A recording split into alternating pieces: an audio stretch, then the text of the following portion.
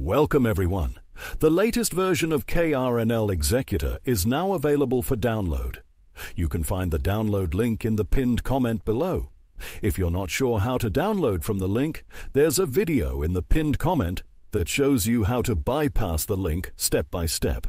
Make sure to watch the video till the end to learn how to get the key. Now let's go ahead and install KRNL Executor. Once the installation is done, open it up by clicking on its icon. As you can see, it's asking for a key. Click on Get Key to receive the link. Now paste that link into your web browser. If the key page doesn't load properly, just refresh it a few times until the page with the key appears. Once the key is visible, click Copy to Clipboard. Now head back to KRNL Executor Delete the existing key in the box, then paste the new one you just copied. After that, click on Verify Key. And as you can see, KRNL is now working perfectly. No issues at all.